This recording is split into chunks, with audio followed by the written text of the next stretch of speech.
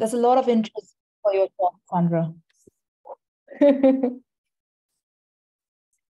so great. We are going on to our next webinar, which is how to design a green website with Sandra Pallier from Microsoft. And Sandra is an organizer of Climate Action Tech, works as a designer at Microsoft in London. She's driving initiatives around digital sustainability at work and is involved in caring for the climate action tech community. In her talk, she will cover the Microsoft Green Design Principles, which she put together with volunteers at Microsoft. Over to you, Sandra. Thank you. Thank you so much. All right, gonna share my screen and get us kicked off. Um, so I kind of did a little thing here where I just did a strike through of website and just called it digital product because I think we can go wider than websites with this talk. But yeah, hello everybody. I'm Sandra. My pronouns are she, her, and I am, as Priya said, a co-organizer of the community Climate Action Tech, and I work as a designer at Microsoft. Where most recently I've been working with a team of volunteers across the company to define the green design principles for digital product design. And I guess before I move into the meat of this topic, um, the reason for why I've started talking about this at all and learning more about it in 2019 was because nobody else was talking about it. Um, I don't remember a single conversation at work in my career in digital design um, up until that point when I started speaking up, basically, where the impact of digital experiences on the planet was mentioned. And that alone, that lack of conversation and awareness of this kind of motivated me to speak up myself and dive deeper and learn more. And in this talk, I'll hopefully prepare you for your journey in this space, and I'll hand you a getting started backpack, and then I'll walk you through what you can do. And along the way, you'll get lots of recommendations for different paths to go down in your own time as well. It's kind of like a little hike, if you like. so Let's get started with our backpack. This will help you contextualize how climate relates to digital world and tech at large. First, the climate crisis doesn't happen in a vacuum. This has been mentioned throughout um, the Design for Planet Festival today, but basically reiterating, climate change is not solely an environmental issue. It's rooted in a web of ethical, political, and systemic issues. And all of these overlap with tech, design, and how we do business. Um, our society is built on a love for growth, but we're not that great at knowing when to stop. And this has obviously had an impact on the climate, but it's also showing up in the tech industry. So if we think about the build fast and break things mentality, we quickly realize that it might not lead to the best decisions or the best outcomes for individuals, society, or the planet. So for more thoughts on systemic climate related issues related to the tech industry, I can highly recommend um, checking out this chat with Joycelyn Longdon, which we put together in the climate action tech community last year. Big change starts small. Um, it only takes 3.5% of the population to participate in nonviolent protests to ensure serious political change. And similarly, in companies and businesses, you can also form groups and push for changes from within. In the beginning, it's important to choose battles that are big enough to matter, but small enough to win.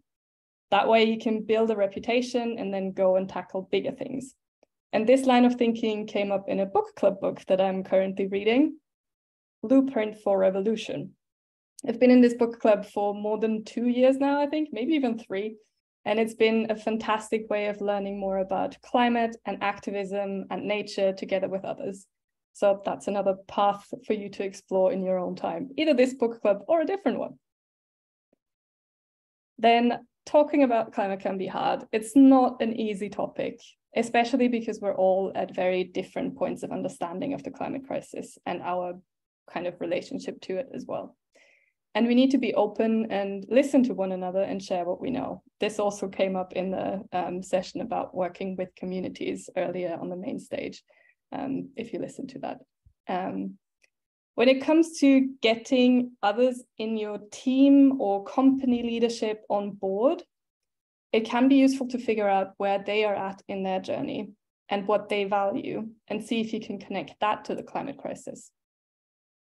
Another fun way to try and dive into this topic that is not necessarily the most fun um, is through play. So I joined a workshop a bit over a week ago that did just that with the medium of humble Lego bricks. We kind of tried to find different ways to talk about challenges and opportunities in climate in particular. And then the last thing in your getting started backpack is that digital is physical.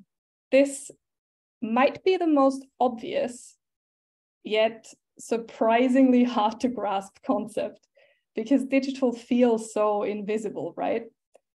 But your work has a direct impact on the planet because digital services require physical infrastructure from the devices that you use to design for your design work to routers and cables that connect you to servers, to data centers where your website or app is stored, and then to the end user devices as well that interact with your designs.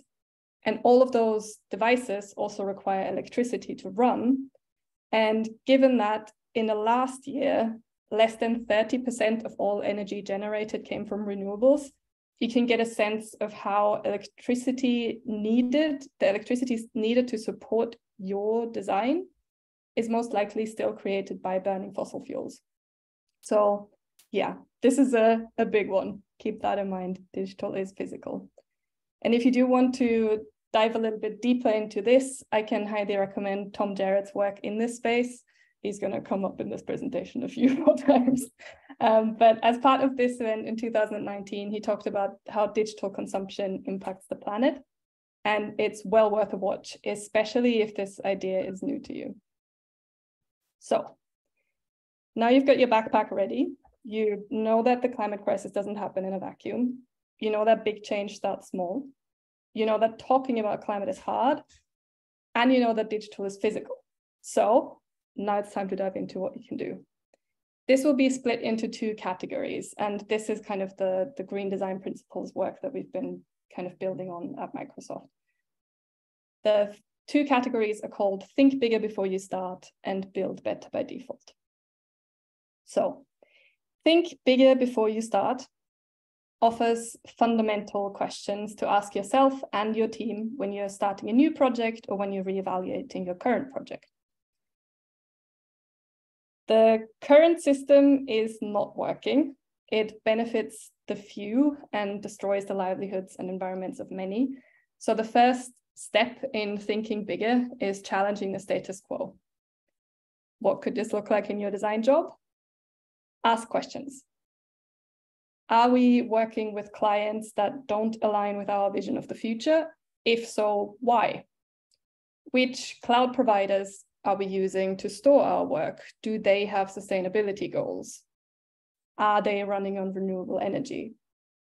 You can also interrogate the real project purpose. Why are we doing this? And keep on asking that until you get to the core motivation. And you can dig deeper into the impact of the project as well. So, not just starting with why you're doing this, but also what impact will it have? Think about short term, medium term, and long term. Who is harmed? Who is helped? Are we encouraging consumption or conservation? And then you could also question the metrics for success. Are more clicks really going to give us insight as to how useful this is? Why do we need to grow our user base? These are definitely challenging the status quo and um, good conversation starters, if nothing else, I guess.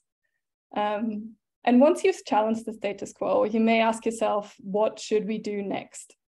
And this is where we have borrowed a principle from this um, from the society-centered design principles, putting care first. So they talk about this beautifully in the society-centered design principles moving away from delivering solely for individual and commercial interest. It's about considering societal and planetary justice and health as core to our decisions. And in your work, this can encompass looking at the power dynamic within your team or within the wider company. Who has the power in decision making? Who is left out? What is the power dynamic between your team and your end users? What impacts might your project have on non-humans? And then with regards to health, um, we kind of linked, well, in this presentation, there's a link to the Spotify ethics assessment, which is a, a great little tool to evaluate physical, emotional, and societal harms that your product might cause. So things like addiction, anxiety, accidents due to distraction, exclusion of a group of people, etc. And then for societal and individual mental health, we could also think about moving away from the attention economy. And this is where I'm going to come back to Tom Jarrett's work yet again. This experiment of his for a low energy Instagram shows alt text per default. And the user has to tap on the image to, or on the alt text to reveal the image. And this is also a little bit about returning control to the user rather than swamping them with a homogeneous feed of content that tries to keep their attention. It's about cutting the noise and providing calmer experiences.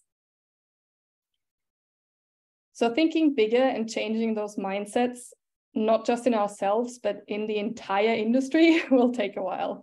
But as designers, we often have the privilege to question things and the skills to reimagine, tell stories, and take others on this journey with us. And while we work on this larger mindset shift, we can also take more immediate actions in parallel, which brings me to the second part of what you can do. Build better by default focuses on actions you can take during the design and development process. First, we can ensure that our work is optimized for low energy consumption. We can simplify our user journeys, avoid endless scrolling and auto-loading content, we can remove visuals that we don't need and reduce file sizes for our images and videos. There's also ways to optimize fonts and colors. If you want to dig deeper into some of these UI design actions, check out Tom Greenwood's book, Sustainable Web Design, or the corresponding website, sustainablewebdesign.org. They're great resources to kind of get started and get more actions. One of the examples that is mentioned in the book is this low impact website um, by Organic Basics, where they went for vector graphics rather than photos of models wearing their clothes. This reduced the amount of electricity required to run the website simply because less data has to be loaded and less data has to be stored, which brings me to another point of optimizing, storage and longevity. One small change with a big impact is going is going for a cloud provider that is running on renewable energy.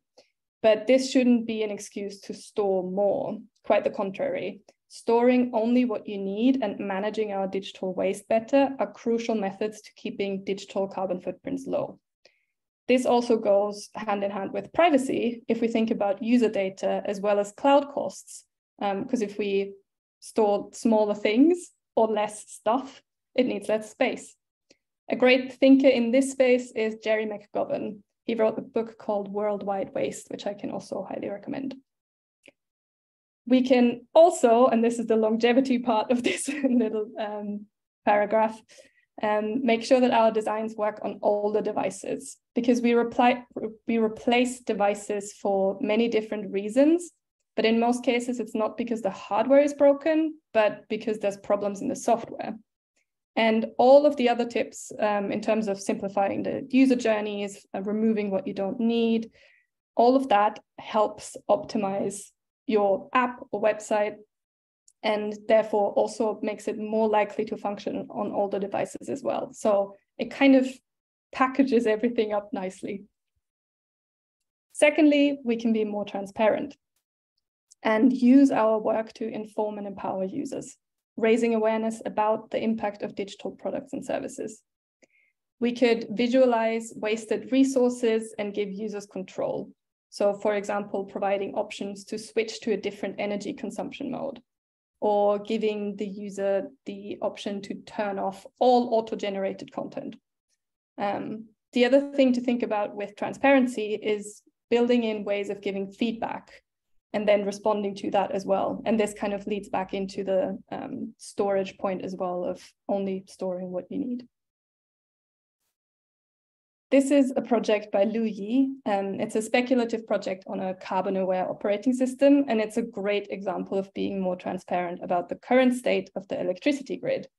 So the interface gives indicators on whether there's an abundance of renewable energy or not. And her project also applies the next point that's in my list. Um, so she's made sure that the system itself is not just transparent, but also adaptable. if our websites and apps are aware of their context and the available resources, they can adapt accordingly.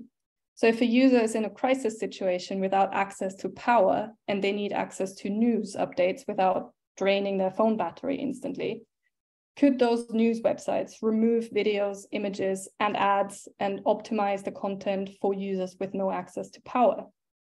Or when you're reading articles online, could the design change depending on how clean the energy is at any given time? This is yet another example of Tom Jarrett's work, Branch Magazine. A lot of the articles in there are very much worth a read. It's all about creating a more sustainable internet for all. And that brings me to one last recommendation, and I'm definitely biased with this one. the Slack community that I help organize in my spare time, climateaction.tech. It's a great space to learn more and connect with others interested or active in this space of digital sustainability. We've also got a huge public wiki page um, where pretty much all of the resources that I just mentioned are captured as well. Um, and there's lots of links to other um, des more design focused communities as well. So Climate Action Tech is a mix of engineers, um, project managers, designers, everybody kind of coming together who works in tech. Whereas there's also um, more 100% design focused communities like the um, climate designers community or the sustainable UX Slack community as well. But I digress. the point is there is room for us to change things. We can make small changes in our design practice that have ripple effects and impacts we can use the knowledge from our backpacks to learn and question things and band together. And it is time to change our mindsets and how we view our work and our role in the world. So let's build only what we need, better by default, optimized, transparent, and adaptable. And let's use our craft and our imagination and our influence to challenge the status quo and design a different future where we can put care first. Thank you very much. Thank you, Sarah. That was really, really inspiring. Thank you, Sandra. It was really, really inspiring. I've been calling you Sarah. My bad. It's been a long day. Apologies for that. no worries. Um, there have been a bunch of questions, especially on the links and the presentation. There's such a you know gold mine of things you found here. What's the best way that people can reach out to you and find out where to go to the Slack channel or the books? Uh, the is is there somewhere they can go and find all these links? Yeah, so I'll put a link to our Climate Action Tech website into the chat. Um, this is where you can you can sign up for the community. And then if you don't want to sign up for the community but you still want to check out the resources i'll i'll put a link to the greener design um, wiki page as well so that you can kind of look at that and then decide on whether or not you want to join. Brilliant because there's also questions on you know how do you calculate the carbon of your websites? I guess those kind of things can be found out more through the slack yes. channel. Perfect. Totally. Uh, there were some questions here. I'm just going to quickly scan through the Q&A. One question was, which KPI do you use for measuring the, it just says to measure the sustain. So I don't know what means measure sustainability or measure website carbon, but are there any key KPIs you recommend that people should look up when they're measuring the carbon footprint of their digital products? So in in all transparency at Microsoft, we're not, or at, at, least in the design side of Microsoft, we're not at a point yet where we're actually able to measure everything properly. We are having conversations with engineers and we are um, trying to get to that point where we can measure things properly. Um, and then also kind of make it part of the success metrics. But at the moment, um, we're not quite there yet. There are, however, tools out there, especially if you work on websites, um, there are tools out there to measure and then um, use that as a baseline, for example, and compare yourself to your competitor websites and then try and be lower than them in terms of your um, your carbon footprint. So yeah, there, there's we're we're still in the in the early stages of figuring all of this out. Um, so yeah. There are also some questions around the whole cryptocurrency and the change in the current standards as well. And I was wondering whether you had a point of view from, you know, proof of work to proof of um, mm. all those elements which comes with the data centers. And I was wondering where, based upon your discussions with the community, what's the current kind of point of view around Bitcoin or any of the crypto changes mm. that you the community is tracking? I think from my point of view, it very much is a question of application. Because if we have technology that we just build for technology's sake without really considering what it will do um, or who it will impact and how, um, then it's not worth building. So it's one of those um, one of those kind of situations where it's super important to interrogate what exactly it will be useful for and whether the the cost of building it outweighs the benefit. Because sometimes something can cost a lot to build and then only benefit like three people.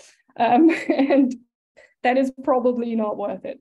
So um, yeah, considering considering that is, I think, necessary for some of those also, technologies. Also, love your um, your take on cloud on the ground and how increasingly when there's digital transformation, there's a couple of uh, folks here also working in government. And when there's digital transformation, there's a big onset of, you know, let's put things on the cloud, but it's not such an easy answer. So I was wondering mm. if there hmm. are any recommendations, again, you have from putting on your Microsoft um, hat on, whether it's Azure, AWS, Google Cloud, are there any best practices in digital transformation around this? Totally. I'm going to switch that hat right around and, and talk from a climate action tech perspective because that exact question comes up again and again in our Slack community. And we've got a um, page in our internal wiki as well, where we um, cover some of that of like what are the greenest cloud providers basically for your need. Um, one of the things, I guess, to to consider with digital transformation in general, um, and this is kind of going back to a paper I read a while ago where um, the author discussed whether um, commuting to work physically or whether digital commute is more sustainable. And one of the things that the author talked about in that paper was that we shouldn't just look at the time, like the amount of energy required during the commute, but also about the time and that is kind of freed up by the digital commute and what is done in that time. Because ultimately, if we don't drive to work, but instead kind of work from home online, but we end up, I don't know, buying a private jet and flying around the world for every other weekend, then that is going to be less sustainable um, than commuting to work. So it's like that's an interesting um, concept that I try and keep in mind as well. Like, what are we doing with the other time that is free if we do go away from physical and into digital? Um, yeah, That's side tangent there, but there you go. do you also have any real world meetups for people in local like in either in around cities in uk that they can meet up physically as well face to face yeah, so we've got a lot of different local channels in the climate action tech community, and through those channels, um, our members sometimes just meet spontaneously, or they go to other events together, or they organize events um, specifically like climate action tech related events. Um, so yeah, there's there's things going on primarily in London, I would say, um, but we do have yeah, lots of local channels. So if people are motivated to meet with others, they can um, reach out through those channels and then meet. Brilliant. And the last question, let me just check uh, about sharing the slides. I guess there's a way for us, uh, for the folks here to get access to your slides, either like through the Slack channel or through Twitter, or if you could just suggest yeah, the I best will, way. Yeah, I will try and figure that out. Um, maybe if I'll, I'll send my LinkedIn through. Yeah. And then um, I'll post it there as well. And the final one, which I wanted to just a personal thing is I'm a big fan of the Branch magazine and I've been following that for a while. I was wondering, like, this is almost like a futurist manifesto for Marinetti. Like, if you think about a new kind of a digital aesthetics for product design, mm. which you think about dynamic island and all those kind of visi bang motion design, and if you think about what you are suggesting here, which is a lot more with care and consciousness versus just using what the rendering engines can do do you have a sense of who's right now thinking about the future of the aesthetics around digital product design with those principles in mind? Oh, there's there's lots of people within climate action tech again. So um, and like Branch Magazine is a great place as well to dive into some of those ideas because yeah, there's there's lots of interesting ideas and um, there's one um, Climate Action Tech member who also created a directory of websites that are all um, optimizing as much as possible and kind of trying to show what that can look like in different um, for different industries and yeah different purpose built websites. So lots out there um, yeah. So maybe we need a new cool site of the day literally. Yeah. For those of us who remember that. Yeah Thank you so much, Sandra. Apologies for calling you Sarah throughout, but yeah, it's great to kind okay. of hear from you and also like all the people to connect with you. And I'm hoping that folks here can reach out and use some of your resources and continue the conversation on Slack. Thanks for your yes. time. Thank you so much. Cheers, guys.